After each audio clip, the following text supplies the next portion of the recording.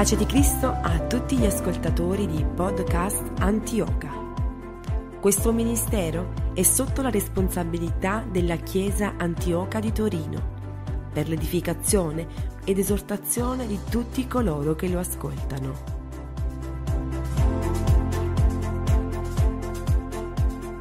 Ogni domenica ci riuniamo per glorificare il nostro Signore Gesù Cristo. Invita qualcuno a venire alla casa dell'Eterno, come è scritto in 1 Timoteo 2 verso 3, il quale vuole che tutti gli uomini siano salvati e vengano alla conoscenza della verità.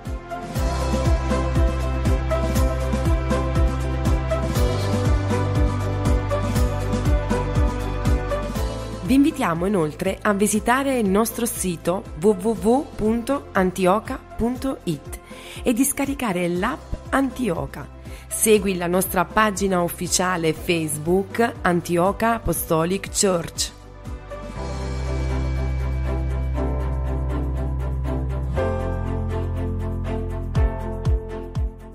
Buon ascolto e Dio vi benedica.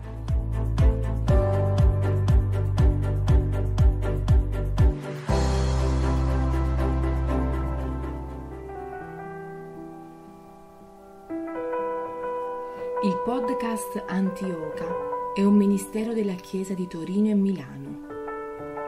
Il proposito del podcast è edificare la Chiesa locale, testimoniare quello che Dio ha fatto in noi e lasciare il fondamento apostolico alla prossima generazione, la nostra successione apostolica, fino al ritorno del nostro Signore Gesù.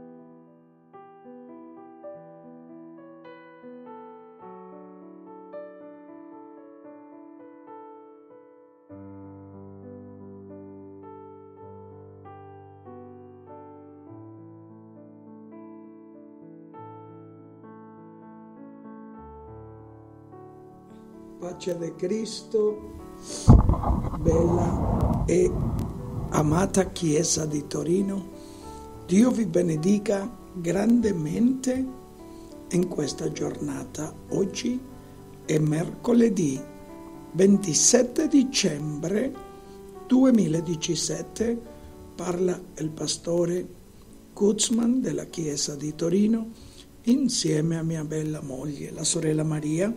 Un saluto, sorella Maria, pace di Cristo.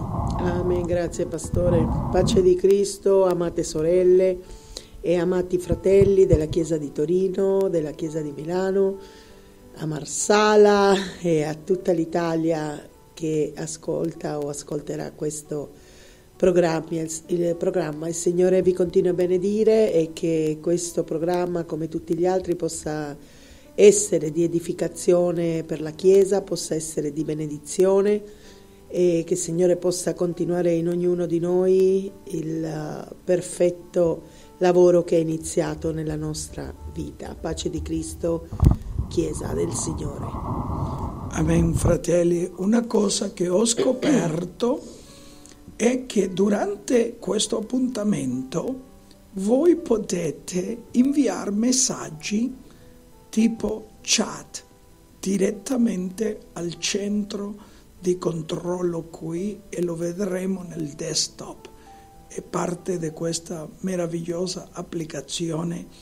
Antioca vi incoraggio, eh, già sia via un messaggio via l'applicazione o Spreaker o anche inviarlo via il WhatsApp.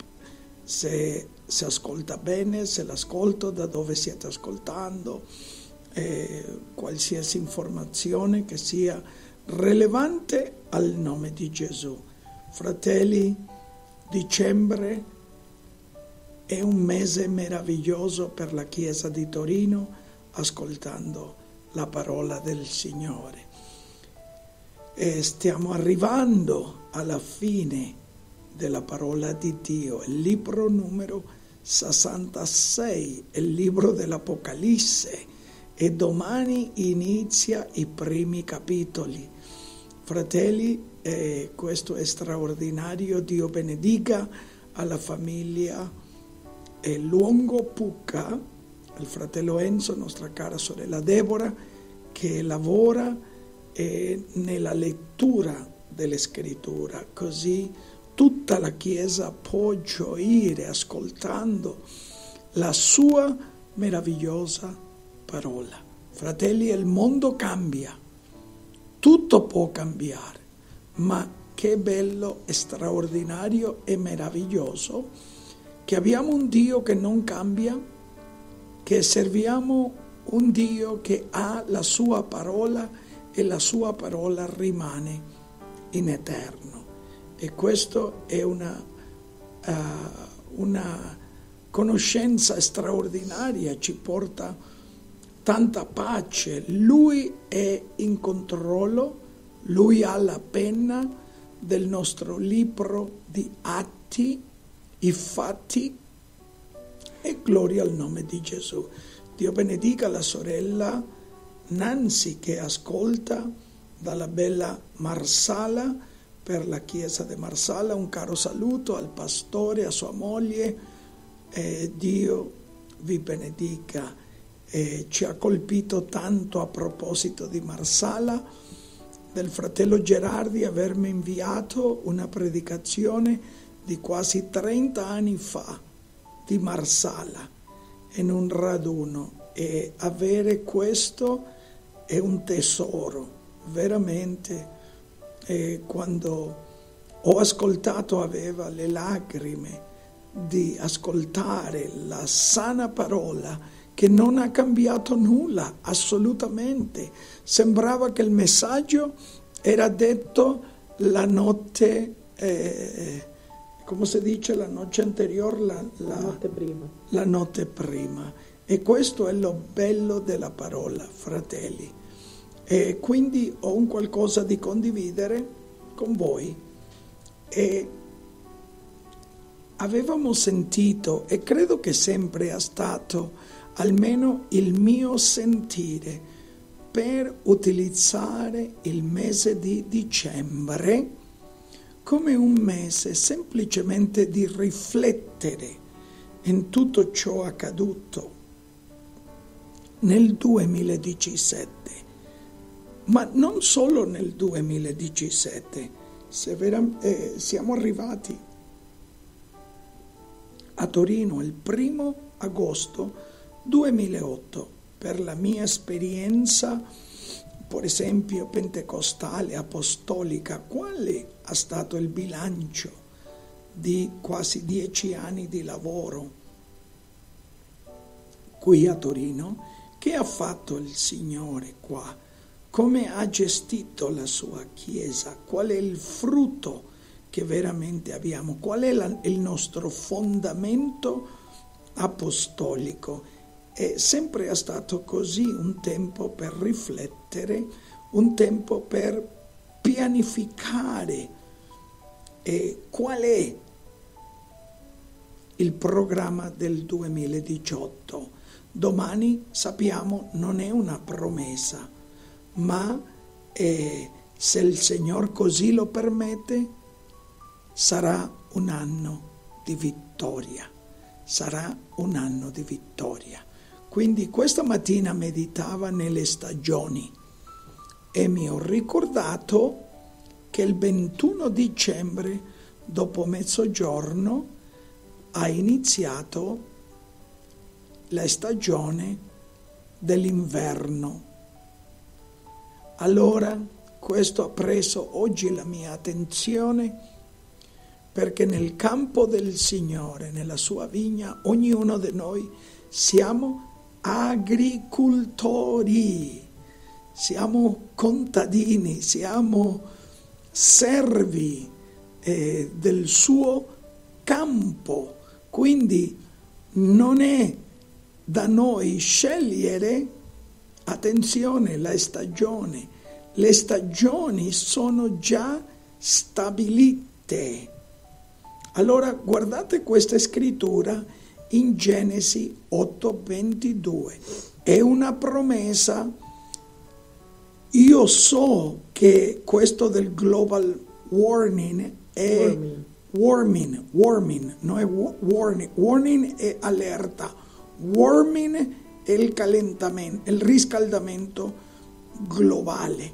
Allora, il mondo scientifico è su un'allerta della possibilità di questo riscaldamento globale, quindi è evidente guardare queste foto satellitali della Groenlandia, per esempio, del Polo Nord, del Polo Sud, e si può vedere il degrado, eccetera, eccetera, evidente all'occhio umano. Ma fratelli, guardate questo che dice Genesi 8:22, è una promessa di Dio. Sorella Maria? Finché la terra durerà, semina e raccolta, freddo e caldo, estate e inverno, giorno e notte, non cesseranno mai. Questo è parola di Dio. E l'estate e inverno, il giorno e la notte non cesseranno mai, Finché la terra durerà. finché la terra durerà secondo il piano di Dio. Allora, fratelli, eh, invece di seguire la paura o la preoccupazione della notizia globale giornaliera, io preferisco riposare in questa parola che non cambia, ma rimane ferma, certa, veritiera, in eterno. Allora la scrittura ci dona questa promessa, finché la terra durerà, Semina e raccolta. che è veramente il lavoro agricoltore, il lavoro evangelistico, il lavoro con il piano del Signore. E questo è un paragone spirituale. Freddo e caldo, estate e inverno, Le stagioni non cambieranno, non cambieranno. Non vuol dire che nell'estate arriverà l'inverno. Se nevica nell'estate, ok, gloria a Dio. Ma se fa un sole d'estate in dicembre, gloria a Dio. Ma guarda questo, è una parola dell'Eterno. Non è quello che dico io o lo dice il mondo scientifico. Dio dice nella sua parola freddo e caldo, estate e inverno, giorno e notte non cesseranno mai. Parlandole al gruppo, al- ai leader della Chiesa oggi, eh, ho cercato come pensa l'agricoltore, il contadino che vive del campo, come pensa l'inverno? Che dice l'agricoltore dell'inverno? E la sorella Maria leggerà questo che ho condiviso con il gruppo liderato della Chiesa di Torino. Ecco l'inverno. Fa freddo e le giornate sono corte. La natura si riposa, la linfa non scorre nelle piante. Gli animali vengono messi al riparo al caldo. Il, colta- il contadino controlla lo stato delle recinzioni e delle macchine. Pota gli alberi, taglia la legna e la mette a seccare per l'inverno seguente. Guardate questo, fino a questo minu- momento, fratelli, il contadino controlla lo stato delle macchine. Non è il tempo di cambiare l'olio in giugno o in maggio, è adesso di fare una giusta manutenzione e prova di una maniera che tutte le macchinarie veramente siano a posto in questa stagione. Eh, andremo per parte. Continua sorella Maria, eh, che, che iba a dire sulla recensione? Sì, no, parlando del, di come vede il contadino, l'agricoltore, l'inverno, eh, perché ovviamente per eh, la stagione non può eh, seminare, non può raccogliere, non può lavorare la terra, eccetera. Allora ovviamente le macchine, le recensioni, tutto si ferma, gli animali diciamo eh, si fermano il, suo, il, loro lavoro. Allora questo, in questo tempo eh, di essere fermi, di prendere il tempo per per non, per non, usare il tempo che loro normalmente usano, il tempo per il lavoro che usano il resto dell'anno, usano questo tempo dove tutto si ferma per cosa? Non per lamentarsi, non per annoiarsi, eh, ma approfittano questa stagione, appunto, gli animali vengono messi al riparo al caldo e, e si farà un qualcosa con gli animali che normalmente eh, non si fa quando lavorano e magari si prova di eh, farli ehm, eh, fare più robusti, eh, che si riposino, che si alimentino bene per poter avere la forza eh, per quando iniziano di nuovo a lavorare nella prossima stagione.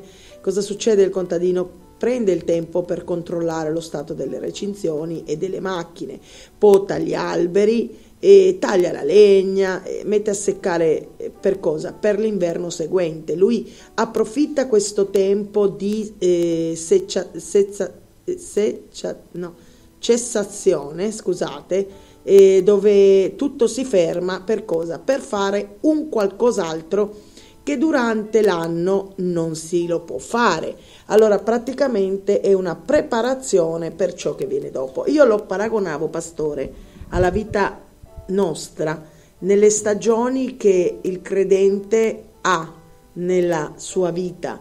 E molte persone a volte, eh, quando si trovano un periodo, per esempio, senza lavoro, e non si ci deve pensare che un tempo di non far nulla o un tempo perso o magari prendere quel tempo per annoiarsi o lamentarsi, ma allora, anzi facciamo, è un tempo che il Signore può regalare per eh, prepararsi di più nella parola del Signore e consacrarsi col Signore. È molto breve. Sì. Leggiamo altra volta mm-hmm. l'articolo. È l'agricoltore intelligente è il titolo che gli ho dato io. Allora, Amen. ecco è l'inverno Fa freddo e le giornate sono corte, la natura si riposa, la linfa non scorre nelle piante, gli animali vengono messi al riparo al caldo, il contadino controlla lo stato delle recinzioni e delle macchine, pota gli alberi, taglia la legna e la mette a seccare per l'inverno seguente. Ok, qui allora inizia la seconda parte. La seconda parte dice... Nei prati fa freddo e l'erba diventa rada. Le mucche restano nella stalla, il contadino gli assicura il foraggio e cambia la lettiera. L'inverno è una stagione di preparazione. Si spera nella neve perché il vecchio detto, virgola, eh, virgolette, sotto la neve il pane. Ha un fondo di grande verità. La copertura nevosa impedisce infatti che il fondo del terreno subisca gelate troppo intense. Un qualcosa che mi colpisce è il fatto che la natura si riposa e l'inverno è una stagione, fratelli, una stagione di preparazione, secondo la natura specificamente tra dicembre 21 al 20, 21, 22 più o meno di marzo. Tempo di preparazione. Non vuol dire non fare nulla, non vuol dire dormire, non vuol dire assolutamente niente di questo. c'è tanto lavoro di fare, ma dobbiamo capire il contesto spirituale dietro questo principio. Amen. Sì, perché per l'agricoltore eh, sono queste le date dell'inverno, ma quando parliamo spiritualmente eh, che noi passiamo eh, da diversi, come si può dire, stagioni nella vita, no? E co- così come la natura, il Signore attraverso la natura ci insegna sulle ehm, diverse stagioni spiritualmente, come ombra eh, della parte spirituale, anche la nostra vita passa per stagioni diverse, passiamo per momenti di eh, cicità, passiamo per momenti eh, di deserto, passiamo per momenti di solitudine, passiamo eh, diversi momenti ne, nella nostra vita, alti e bassi, eh, euforia, passione, posso, può venire un tempo di magari eh, diverso, di, di, di un diverso sentire.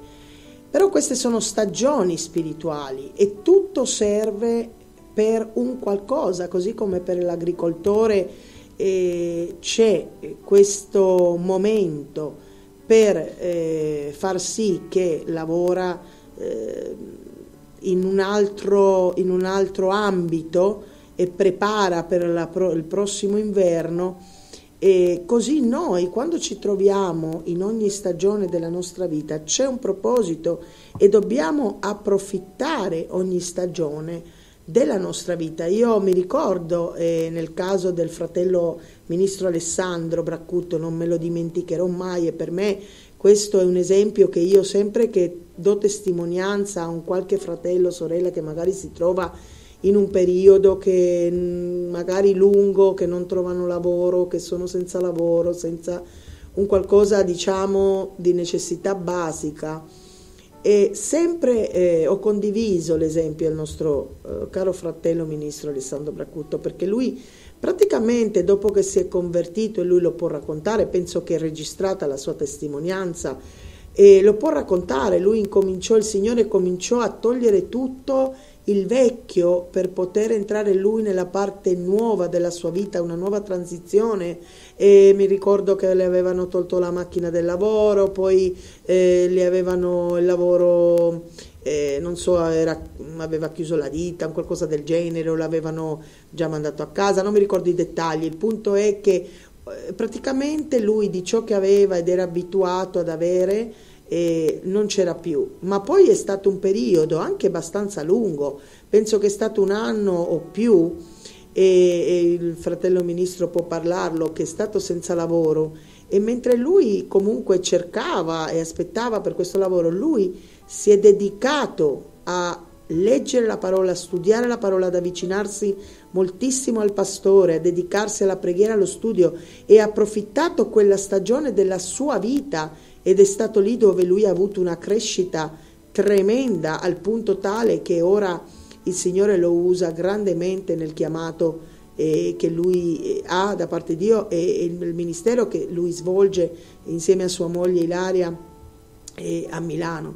E questo per lui è stato un periodo veramente dove lui, anziché preoccuparsi e lamentarsi, eh, sì, sicuramente la preoccupazione, tutto quanto eh, c'era all'interno di lui, però si è dedicato, ha saputo prendere questa opportunità come una, una benedizione del Signore, un tempo, una stagione della sua vita da parte del Signore per poter crescere nella sua conoscenza e relazione con il Signore e, e, poi abbiamo visto i frutti e poi abbiamo visto come si è svolta la sua vita e al punto adesso che lui ha un bel lavoro, a parte il lavoro del Signore, ha un bel lavoro e secularmente e gloria a Dio per tutto questo. E, e, come lui tante stagioni che passiamo nella vita che dobbiamo approfittarli di come Dio vuole trattare con noi, e come vuole che noi cresciamo nell'intimità della comunione con Lui, nella conoscenza con Lui.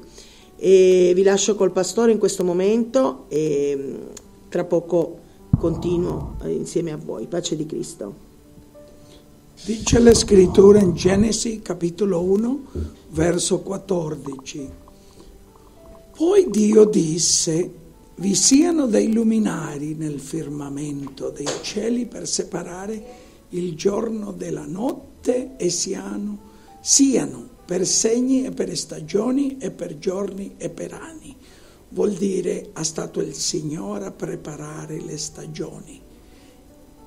E il Salmo 104, 119 dice, Egli ha fatto la luna per le stagioni, il sole conosce la ora del suo tramonto, è straordinario come la scrittura in queste due scritture insegna la majestuosità e la sovranità di Dio. Genesi capitolo 1 verso 14, Salmo 104 verso 19.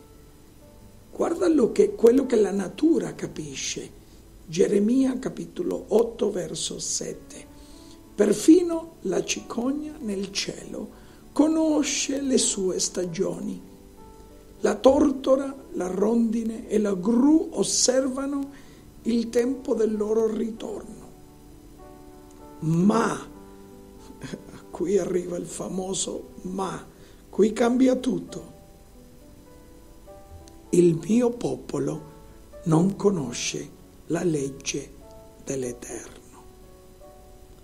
Geremia capitolo 8 verso 7.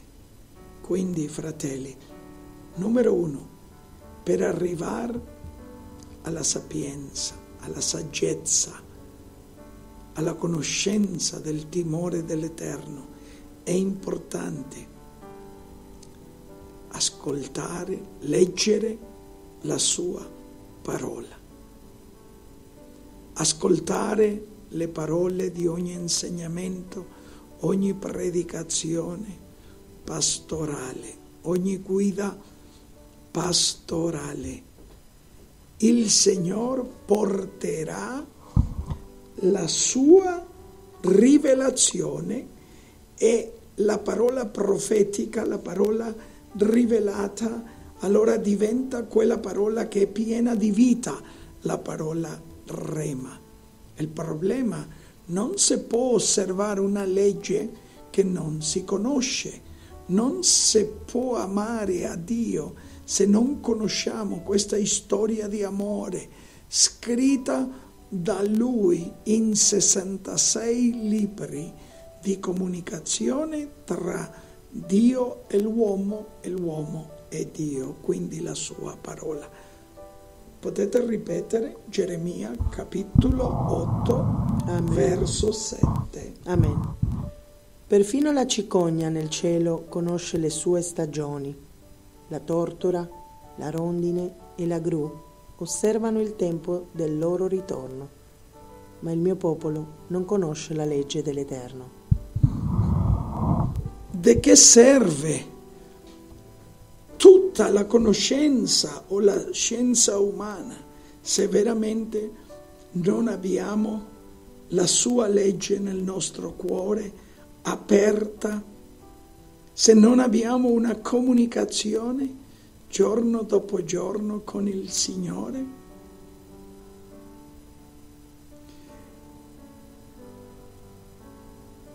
Dice la scrittura in Daniele capitolo 2, verso 21. Egli, parlando di Dio, mutta i tempi e le stagioni, depone il re e l'inalza, dalla sapienza ai savi e la conoscenza a quelli che hanno intendimento.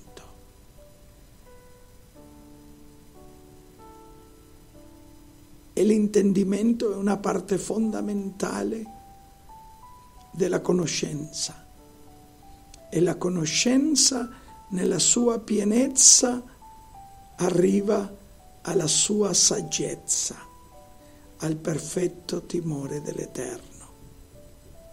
Quindi possiamo capire la sua meravigliosa volontà il Signore mi dirà, il Signore condividerà con me. Quello che è importante fare oggi, un giorno alla volta, un momento alla volta, un passo alla volta nel suo amore. E chi non vuole questo intendimento, chi non vuole il timore del Signore, fratelli, è, è importante conoscere i principi fondamentali della nostra fede, della parola di Dio. È molto importante quindi in questo mese di preparazione ha iniziato una stagione dove più intensamente che mai dobbiamo ascoltare la sua parola ed aspettare la sua guida.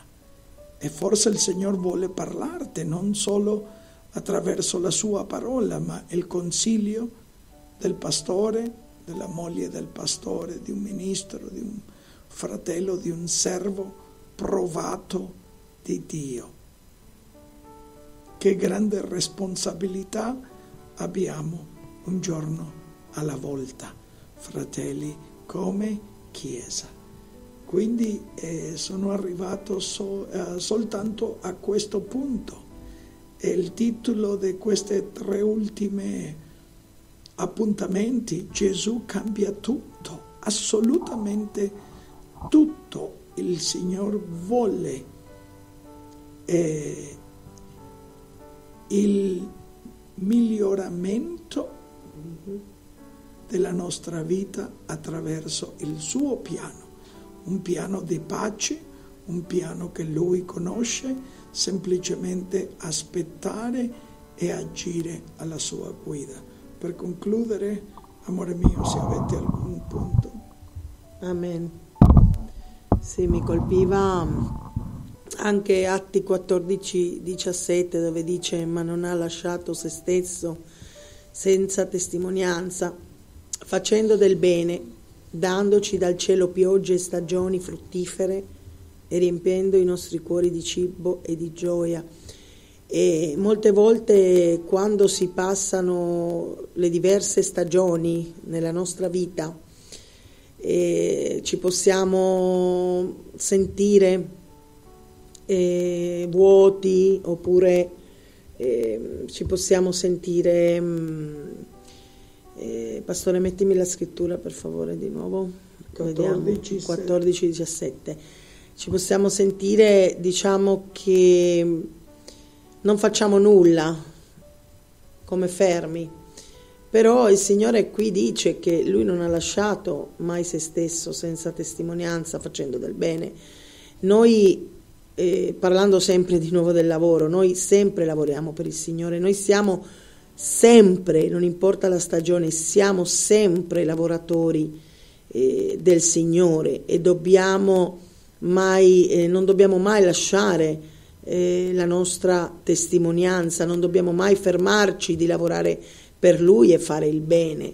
E, e il Signore eh, ci ha dato la, la pioggia, ci ha dato delle stra- eh, stagioni fruttifere e, e, ci ha riempito, ha riempito i nostri cuori di cibo e, e di gioia e non parla solo di un cibo naturale che è ovvio che non mancherà al giusto, ma di un cibo spirituale, eh, della sua parola. Allora, eh, sempre, sempre, non importa la stagione che eh, subiamo, e che dobbiamo passare, sperimentare perché è necessario e ogni stagione serve per un qualcosa, per il Signore fare un qualcosa in noi nel cammino della nostra fede in Cristo Gesù. E sempre eh, il Signore ha lasciato eh, i nostri cuori pieni di cibo, pieni di gioia e, e, non dobbiamo mai fermare il suo lavoro, non dobbiamo mai, eh, mai lasciare eh, la testimonianza, mai lasciare eh, di lavorare per lui, di fare il bene, non importa eh, ciò che si eh, viva, non importa la stagione in cui eh, stiamo vivendo. dobbiamo spiritualmente passare per le stagioni, come la natura ci, Signore ci insegna attraverso la natura che ci sono le stagioni, così nella nostra vita, nel nostro camminare giornaliero abbiamo e sperimentiamo le diverse stagioni della nostra vita, ma dobbiamo, eh, mai, eh, non dobbiamo mai fermarci di lavorare per Lui e di essere pieni della Sua parola, della Sua gioia, anche in mezzo alla sofferenza e a diverse situazioni e eh, molto meno lasciare la buona testimonianza e lasciare di fare il bene. E, mm, gloria a Dio, fratelli, sorelle, perché eh, dobbiamo capire che il cristiano, il servo, il discepolo, il figlio di Dio, eh, passiamo e dobbiamo passare le stagioni e capire a cosa serve ogni stagione, cosa vuole fare il Signore in ogni stagione.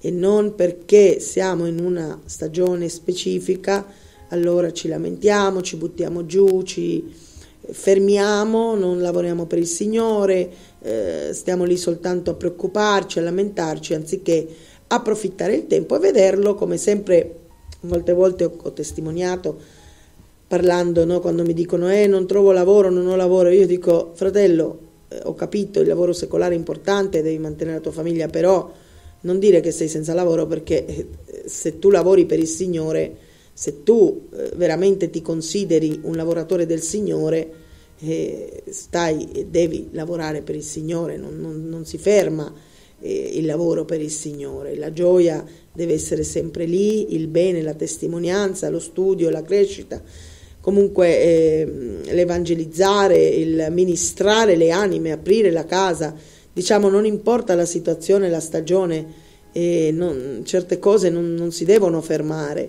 perché siamo lavoratori del Signore, dobbiamo capire che ogni stagione ha la sua ragione. Io quando si tratta del lavoro gli dico, eh, fratello, sorella, tieni questo, prendi questo come una vacanza del Signore che ti sta dando non per stare lì a fare niente, ma anzi ti sta regalando il tempo che tu tanto hai pregato che dicevi che non avevi il tempo per pregare, che non avevi il tempo per leggere, per studiare, per ascoltare prediche, per evangelizzare, per ministrare, per andare a trovare i fratelli, per aprire la tua casa. Il Signore ti sta dando questo tempo come regalo per cosa? Per celebrare il suo nome. E ti sta dando questo tempo per fare tutto ciò che tu dicevi che non avevi prima il tempo di fare e te lo sta donando, approfittalo, approfittalo e lascia il resto nelle mani del Signore, riposa nel Signore, approfitta il tempo perché poi questa stagione passerà e non ce l'avrai più.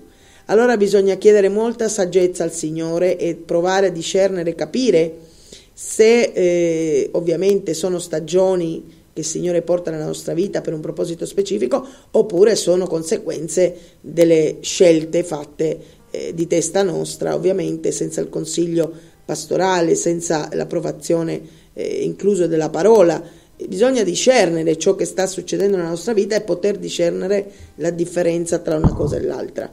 E ehm, io ho gioito fa, facendo questo programma col pastore in questo giorno e spero che anche voi abbiate gioito e, e che veramente possiamo meditare in queste scritture, in questa parola e che il Signore possa continuare a parlare nelle nostre vite eh, sia di edificazione. E pace di Cristo, fratelli. Sorelle. Dopo dall'inizio, marzo 20 2016, 16. 16, scusatemi, ancora impariamo il sistema, fratelli. Qualsiasi eh, suono strano o qualsiasi suono tecnico eh, che non va, scusate, miglioreremo nel nome santo di Gesù. Quindi eh, vi ringrazio per il momento di ascolto, ringrazio al Signore, faccio una preghiera nel nome santo di Gesù. Signore, io ti ringrazio per questo giorno, Signore, per questo momento, per chi ascolta adesso, per chi ascolterà in una data futura, Signore. Signore, che tu possa continuare a toccare il nostro cuore per te Signore, la mia preghiera è, Signore, la rivelazione della tua santa parola, Signore, in questi momenti critici che stiamo vivendo come Chiesa per il tuo movimento apostolico, Signore, un movimento veramente è meraviglioso, Signore, di come tu adempirete ogni parola scritta nella tua parola, Signore. Grazie, Signore, grazie per la tua Chiesa. Grazie, fratelli, pace di Cristo. Dio vi benedica grandemente.